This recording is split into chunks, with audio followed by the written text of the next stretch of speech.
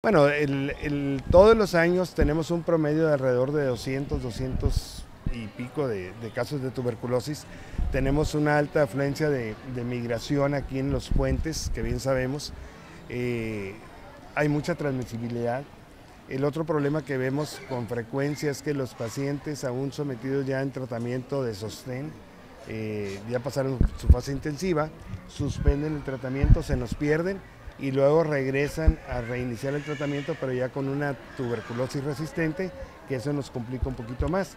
Y ahí es donde tenemos que meternos a través del programa binacional. De tal manera que sí es muy recomendable que aquel paciente que tenga una tos de más de 15 días, que alguien lo vea que está tosiendo y que no se ha corregido su problema a través de algún medicamento que haya tomado, pues es muy recomendable que lo envíen ahí a la clínica de tórax con nosotros para hacer la vaciloscopía y detectar si es o no es una tuberculosis.